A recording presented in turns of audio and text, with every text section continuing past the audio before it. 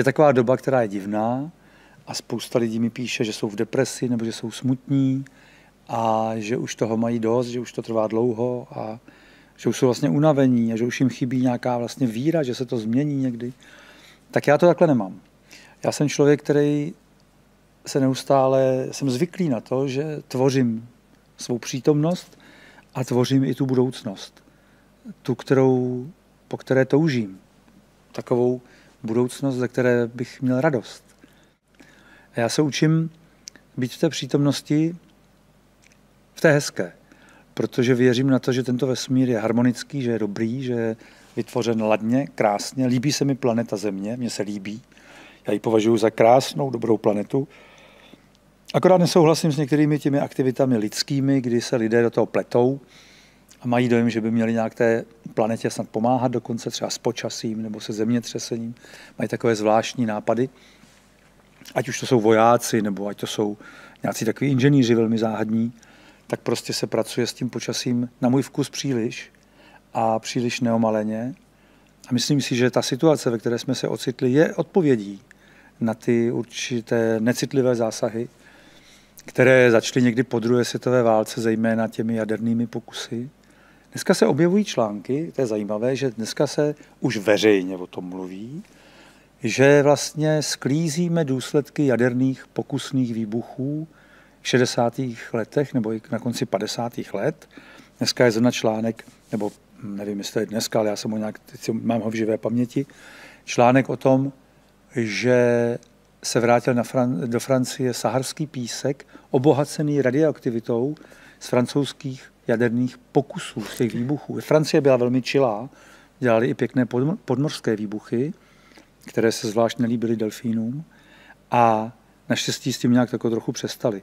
Na tyhle ty pokusy, kdy lidé si vzali planetu jako takové jako laboratoř pokusnou a vlastně tady se dělali jaderné pokusy podzemní, podmořské, nadzemní, ve vesmíru se konaly. Neuvěřitelné prostě věci.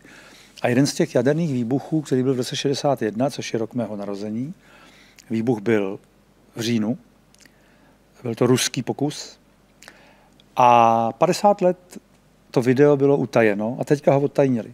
Je to ani měsíc zpátky, kdy toto video bylo zveřejněno, normálně na YouTube je mm-hmm. dostupné, a je to záznam největšího jaderného pokusu, výbuchu vůbec v dějinách, který byl uskutečněn. Ten výbuch byl tak obrovský, že pohnul zemskou osou. Rusům se podařilo mírně vychýlit zemskou osu a tlaková vlna tohoto výbuchu třikrát oběhla planetu Zemi. Třikrát oběhla Zemi. Полевой столб, поднимающийся с земли, быстро увеличился в объеме.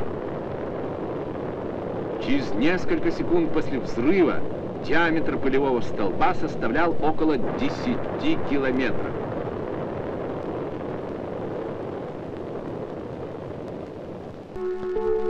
Это же время с самолета, находившегося в 250 километрах от точки взрыва, был виден огненный купол из раскаленных продуктов взрыва. Увеличиваясь в размерах, облако медленно поднималось вверх. В своем конечном развитии оно достигло высоты 60-65 километров. Его диаметр равнялся 90 километрам. В дальнейшем облако начало утрачивать грибообразную форму. Jak psali komentátoři, Rusům se téměř podařilo zničit planetu. Jako bylo to opravdu významný pokus.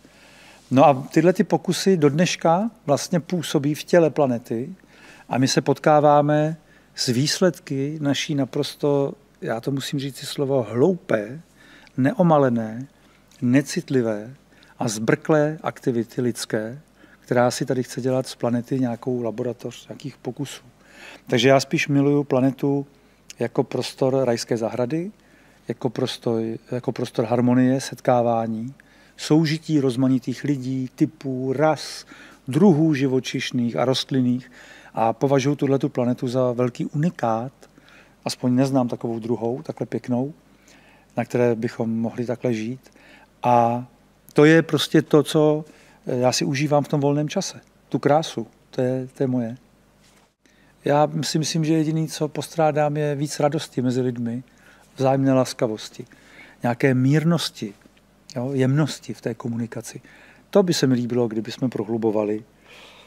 Zdá se mi, že se prohlubuje nějaká spíš hysterie a takový ty útoky a jakoby mm, osočování. Mně se to zdá mm, dětinské. Nepřijde mi to dospělé. Zdá se mi, že jako lidstvo bychom mohli postoupit zase o stupínek dál v určité zralosti. My jsme lidstvo, které hodně válčilo.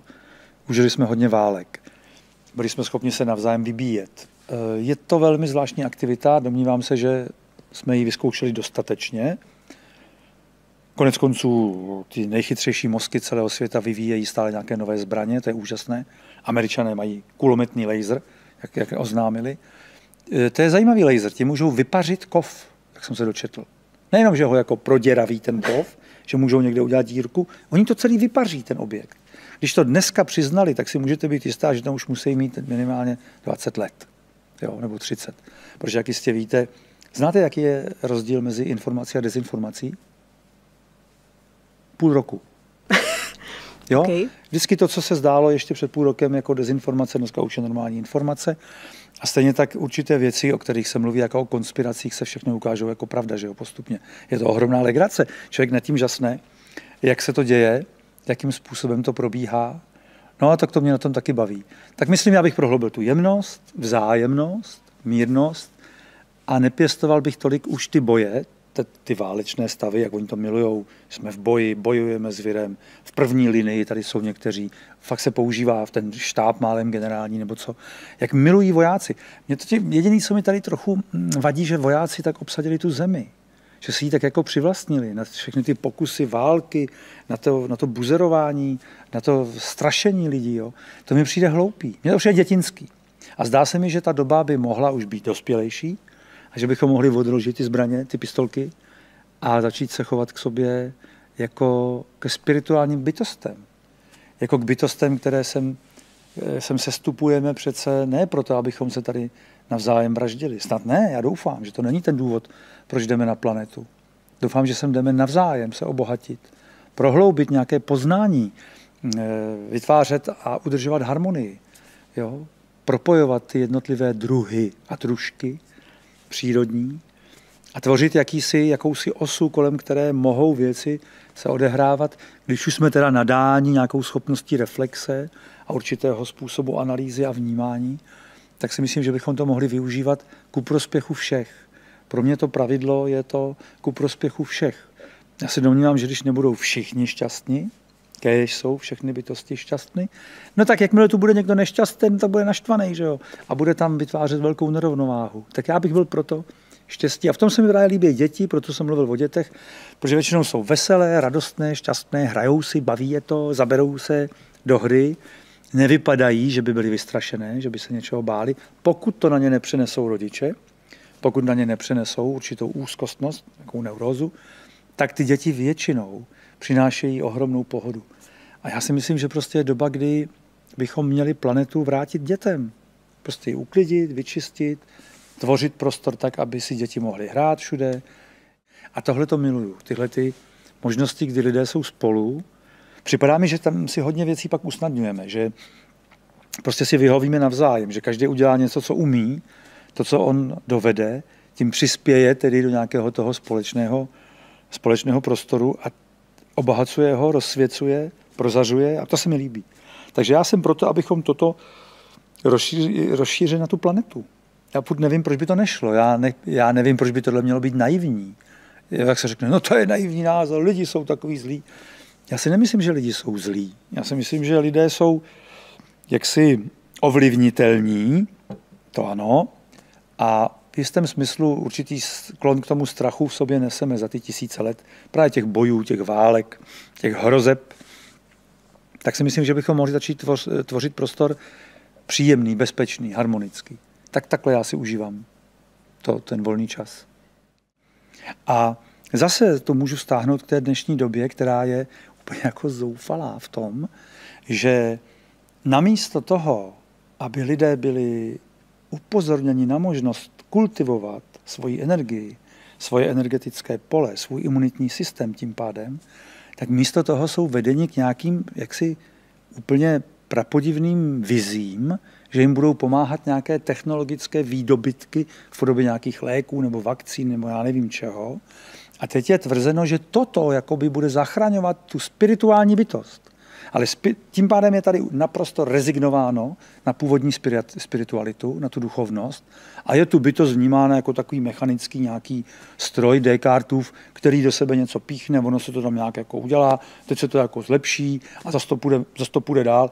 To je naprostá rezignace na původní vlastně vznešené kultury, které osidlovaly planetu Zemi, ať už to byly kultury Hůvy nebo Altea, ať to byly prastaré civilizace, které tady byly daleko před námi a byly patrně mnohem moudřejší, jak nasvědčují uchované artefakty nebo stavby, které jsou dochované z těch pradávných dob, hlubokých, ať jsou to pyramidy, ať jsou to prostě svatyně v Peru, ať jsou to svatyně na velikonočních ostrovech, eh, sochy Moai, ať jsou to svatyně v Kambodži, to je jedno, kde se podíváme po planetě, na ty svatyně stavěné z těch obrovských kamenů, z těch nepochopitelně velikých, mnoha, mnoha tunových, desítek tunových kamenů, eh, se kterými si dneska pořád bychom si těžko věděli rady technicky, abychom to vůbec byli schopni.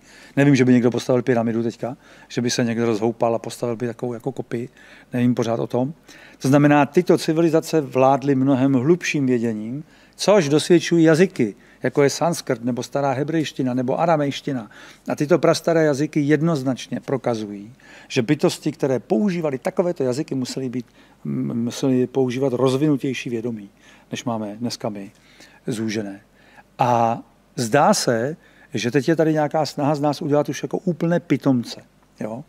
A moje teda odpověď na to je naopak návrat k té původní spiritualitě, k té hloubce, podívat se do těch tradic, takzvaných, do těch jazykových tradic, podívat se na to, co to asi ten Aeschylus teda tehdy psal, proč psal tím dityrambem a kde se teda vzal dityramb, jako v takové prapůvodní, prarávné, prastaré době, kdy jsou to jako počátky dramatu a on píše vysoce sofistikovanou formou, jo, kterou dneska by s tím měli autoři problém takhle psát.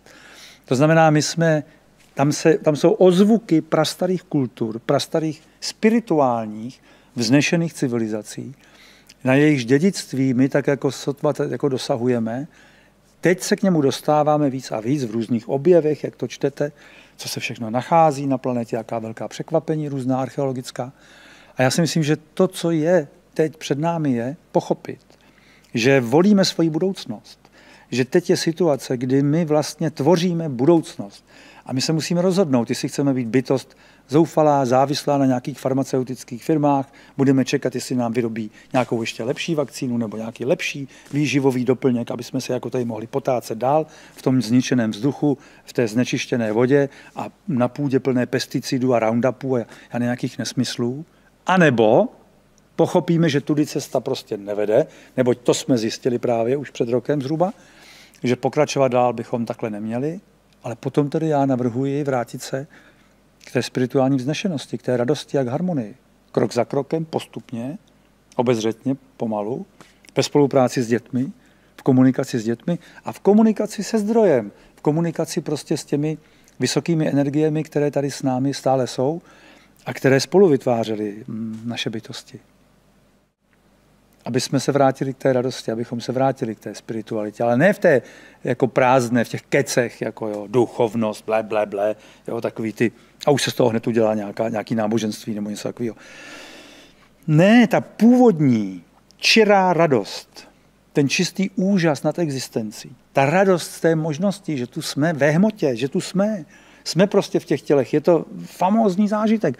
Spousta, eh, spousta entit nemůže být v tělech, nejsou v tělech jsou prostě v jakýchsi vibracích, nemají tu, ne, neznají tělesnost, neznají vůbec jako zážitek tělesnosti, který je tak opojný a je tak jako přitažlivý, že dokonce některé duše nutí se sem vracet, jako rotovat, furt cirkulovat, spou se zpátky na planetu, protože to jinde není. Zážitek tělesnosti, který je zvláštním způsobem eh, jaksi přitažlivý. Tak tohleto, užívat, tuhle tu možnost radovat se z toho a jak si prohlubovat tu vzájemnost. Já pořád bych to nějak viděl na té vzájemnosti. Na tom je tam ta jemnost v tom slově, je tam ta jemnost a je tam ta vzájemnost, je tam to, ta pospolitost, to společenství. Vidět tu krásu. Vidět krásu existence. Učit se jí vidět. Vnímat. Don Miguel Ruiz, kterého já mám hodně rád, podle jeho knihy Hraju čtyři dohody a pátou dohodu, tak on eh, v jedný z těch knih říká, lidé pořád hledají krásu, protože ji nevidí. Pořád hledají lásku, protože ji nevidí. Lidé hledají dobro, protože ho nevidí. A mají to denně před očima. Eh, je to před očima. To, co, to, co prostě v těch náročných okamžicích je třeba pocítit, je, že to je před očima. My to vidíme. To, že ta naše mysl nás někam stáhne do toho strachu nebo do určité hysterie, nebo dokonce do určité přetíženosti jenom těma informacemi. Jich prostě hodně, každý den jsou jiný, tři, čtyři nařízení denně, všechny se mění, už to nikdo nestíhá se v tom ani vyznat. Jo? A vede to k určité třeba apatii, letargii u některých lidí, nebo k té depresi. U někoho to vede k tomu vzteku, že, jo? že ho to jako rozčiluje, že neví, co má dělat. Prostě ho to... A často to vede k takovým jako únikům. Jo? Tak e, v těchto těch situacích si myslím, že je dobrý, třeba úplně nejjednodušší, co můžete udělat je, že vědomně decháte. Je to prostě úplně, za to nic nedáte. Je to možný kdykoliv. Ideální jsou ty stavy po probuzení a před usnutím. Těsně takhle, jako okolo, protože když se probudíte, tak jste ještě několik minut v takovém zvláštním stavu vln, kdy jste jakoby mezi, v takovém mezi stavu, mezi tím sněním a takzvaným bděním. A vy máte určitou možnost nesáhnout na mobil, nesáhnout, nezapnout televizi, nezapnout rádio, nezapnout iPad ještě a zůstat v tom stavu. A v tu chvíli se můžete dívat jakoby těma zázračnýma očima na prostor, ve kterým jste, nebo na partnera, se kterým jste, nebo na děti, se kterými jste, nebo na psa, se kterým jste, nebo na kočku, na kocoura, se kterým jste, nebo na kitku, se kterou jste, na květinu. Nebo na, z okna na mraky. Nebo na ptáky, jak zpívají. Zaposlouchat se. Ráno hodně pomáhá naslouchat zpěvu ptactva. Když e, máte tu možnost a vstanete časně, kdy ptáci vítají slunce za úsvitu, zpívají nejkrásnějc, tak e, rovnou dostáváte tu porci, tu krásu, harmonii, všechno to tam je. A když člověk toto začne sledovat, když zaměříte pozornost na tyto aspekty naší existence, když si jinak všimnete vody, když to není o tom, že pustíte vodu z kohoutku a vypijete ji, jako že potřebujete mít 3 litry tekutin denně, ale když si uvědomíte, že ta voda je tu prostě miliardy let, že to je pořád ta voda. To je ona. To není jiná voda, tady jsem nebyla dána jiná voda. Jo, to je ta voda. To, že ta voda v sobě nese příměsi, které my jsme do ní časem za ty tisíce let jaksi vložili, to je jiná věc, že je nějakým způsobem eh, naší činností poznamenaná. Ale tam uvnitř je to pořád ta křišťálová průzračná voda. I pod těmi nánosy nebo těmi. A toto, když začneme vnímat, tak se naprosto mění náš pohled na život a na všechno. V momentě, kdy vy, stačí sledovat ty základní věci. Dech, to znamená duch, duše, ovzduší, atmosféra, začnete třeba sledovat vůbec, jak se vlastně, jak to vypadá, jak dýchá planeta, jak to tam všechno dýchá, jak dýchají rostliny, jak dýchají lidé, jak dýcháme spolu, jak je to právě pospolité, jak je to vzájemné, jak si poskytujeme, jeden potřebuje pro nádech kyslík, druhý potřebuje kysličník uhličitý, ta rostlina si ho vezme a tak dál. A najednou vidíte, jak je to celé perfektní, jak je to úplně dokonalé, jak je to úžasné. A vidíte tu lehkost, s jakou je to tvořeno, tu lehkost, eh, jak bez námahy probíhají tyhle ty procesy. A nebo začnete pozorovat vodu. A začnete pozorovat vodu na planetě, vodu, vodu v sobě, vodu jako takovou. Uvidíte vodu v planetě, v těle planety. Hluboko se ukazuje, že je voda. Jsou obrovské zásobárny, říkají šestkrát větší množství vody, než je v oceánech. Je uvnitř planety. Dneska už říkají, že ta voda původně tady byla vždycky na těch planetách. Najednou to všechno měnějí, že Ty názory astrofyziků nebo astronomů, nebo jak se jmenují všichni ti odborníci těch segmentů, těch oborů, prostě najednou začínají vidět, že ta voda byla vždycky součástí toho prostoru. tak začnete pozorovat vodu. Ona je v té zemi, je hluboko, hluboko pod zemí, vyvěrá nahoru. Mě vždycky jako dítě fascinovalo, jak to, že řeka je řeka.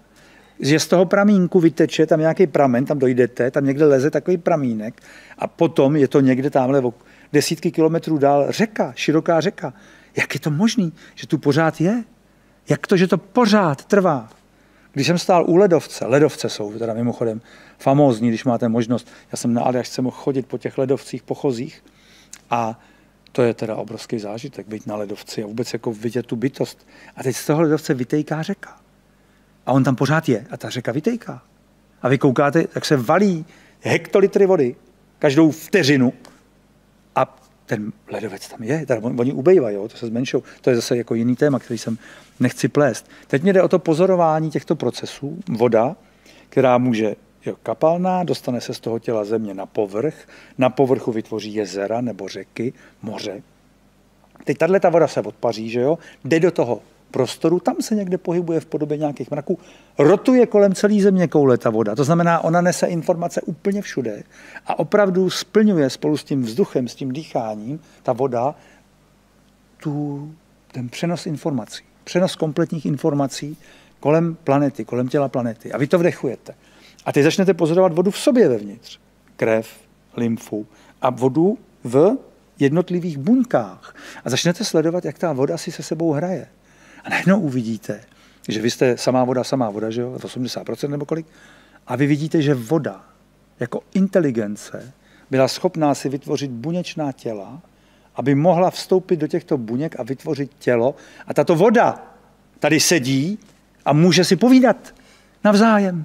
Jenom proto, že dokázala toto vytvořit si ty těla, ve kterých je a povídá si a hraje si a hejbe se. Hele. A tohle to najednou může všechno dělat voda. A my to můžeme dělat skrze tu vodu a tak dále. Není tak jako důležitý úplně definovat, kdo to řídí, protože je to zpětnovazebný cyklus, jako je to ten vzduch, jako je ta voda na planetě. Tam není kdo to kde začal, nebo e, jestli začal tenhle pramen, nebo tam ten pramen a tady se to... Ne, to je pořád všechno. Je to tam přítomno všechno. To, co je pro naši mysl velmi komplikované, je pochopit, že na této planetě je všechno najednou. Je to tu. To znamená, všechna roční období jsou tu teď. Záleží, kde jste na planetě. Každý typ počasí je tu teď. Záleží, kde jste na planetě. Jo? To všechno je tu teď. Je tu radost, je tu žal, je tu bolest, je tu všechno. To všechno tu je. Záleží, kam přesouváte pozornost. Záleží, kde hledáte, kam se posouváte. A to je to, co je potřeba si uvědomit, že vy jako bytost se nenecháte strhnout naprosto, promiňte, pragmatickýma, podvodem zavánějícíma e, informacema ze kterých trčí jako dráty finanční zájmy těch jaksi skupin, které to zřejmě nějakým způsobem baví, tohle to tady rozšiřovat, tu, tu situaci. A vy se nenecháte vůbec trhnout tímhle tím jako zvláštním balábile a podíváte se pod to, nebo za to, nebo přes to. A znovu se podíváte a zeptáte se, kdo jsem. Já jsem nějaká směs vakcín? Já mám být nějaká směs nějakých jakoby lékařských zákroků. Já jsem nějaký, to jsem já, jako bytost, to mám být já. Kdo teda vlastně jsem? A když si položíte tuto otázku a pěkně si na ní sama odpovíte, ne, že vám to někdo řekne jiný a budete opakovat nějakou odpověď, vy sama si řeknete, kdo jste a řeknete si, kdo chcete být a kým toužíte být. A zeptáte se, jaký život si přejete pro svoje děti. A zeptáte se, jaký prostor si přejete pro svoje vnoučata a odpovíte si na to prostě, tak pak se musíte rozhodnout.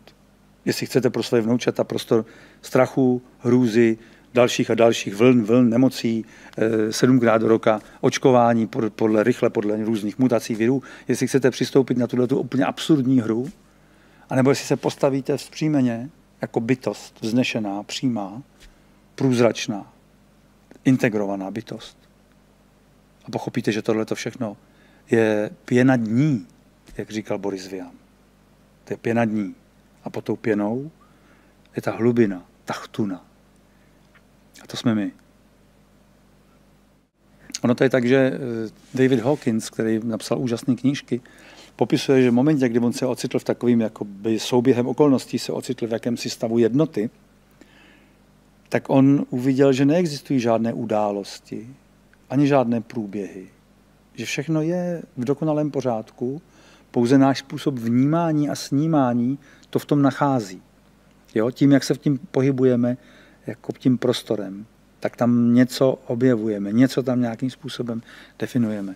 A on tam zakoušel to, že nic, jako, že nic není, že není žádný, že to, co dosud si domníval, že je, ty různé události, aktivity, tradice, historie. Jo.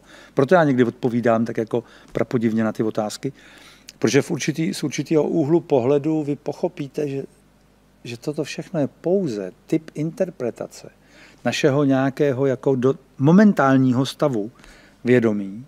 A že možná, kdybychom se potkali s bytostmi pokročilého stavu vědomí, tak možná dokonce, že bychom ani vůbec jako si v jistém smyslu nerozuměli, Jo? Stejně jako si nerozumí ti, kteří řeknou, já tohle nepotřebuju, já nehraju tuhle hru.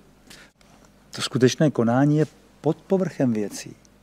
Proto v té původní verzi toho odčenáše, v té aramejské, tam není neuveď nás v pokušení, tam je věta dej, ať nás nesvede povrch věcí. Ať vnímáme, co je pod povrchem, co je pod situací, že jo. Ať nás nesvádí pěna dní, ten povrch věcí, všechny ty podivnosti, dívejme se pod to. Dívejme se pod povrch. Tam se odehrává skutečný život. Ta volba vaše je v tom, jaký budete tvořit svět vnitřní. S kým komunikujete, jako se svojí, se svojí oporou, se svojí mateřskou energií. Kdo to je, kdo to pro vás je. Jo? A to je věc vaší volby. To prostě se můžete rozhodnout. Nejenom, že se můžete rozhodnout, vlastně se rozhodujete, pořád to děláte. Ačkoliv ti lidé třeba budou tvrdit, že to byl nevědomky nebo že to nevěděli. Stejně provádějí určitý typ selekce, rozhodnutí, tak jako tak. Tak já si myslím, že prostě pro mě ta volba je taková veselější. Já mám radši tu veselější volbu, než tu smutnou. Všechny situace, které prožívám, vždycky beru jako určitou materii, jakýsi kompost, já tomu říkám kompost, který použijete ke skompostování a tím pohnojíte jaksi možnost toho květu, který z toho vzkvétá. Vždycky z toho může něco nového přijít. A často na troskách nějakých, na troskách civilizací najednou vyrostly úplně svěží nové záležitosti. Takže já celou tu situaci soudobou vnímám jako porodní stahy, jako kontrakce. A porodní kontrakce taky nejsou eh, jako příjemný úplně. Ani pro tu maminku, ani pro to dítě, mohou v jistém smyslu být náročný. A tato situace je prostě náročná. A někdy stačí jenom měnit ty slova, jo? že přestanete říkat, je to bezvýchodné, nebo je to strašné, nebo je to depresivní. A řeknete třeba, je to náročné. Vyžaduje to v nás určitou odpověď, tedy odpovědnost na tu situaci. A ta odpovědnost může být přece jedně v tom, že vezmeme my svůj život, jeden každý z nás, jak si do své péče. Jak chcete být odpovědná tím, že předáte péči o svůj život někomu? Kde je vaše odpovědnost potom? Tak ji prostě na někoho přehodíte a je to. To není žádná odpovědnost, to je vzdání se odpovědnosti. A někdy vidíte, jak ta slova, která zdánlivě nějak vypadají, ohleduplnost, já nevím co, jsou pravým opakem toho, co hlásají. Pokud se jim podíváte pod povrch, pokud se podíváte dolů, pod, do, toho, do toho spodního proudu. Takže já to vidím nadějně. Vidím to jako zrod něčeho nového a doufám, že bude dostatečné množství lidí ochotno jít do toho světa společného, byť za cenu toho, že jdeme do neznámého prostoru. Opustit takovou tu jakoby jistotu a jít do toho neznámého prostoru, který začneme tvořit skutečně. No, tak, tak mám takovýhle, takovýhle, takovýhle vize.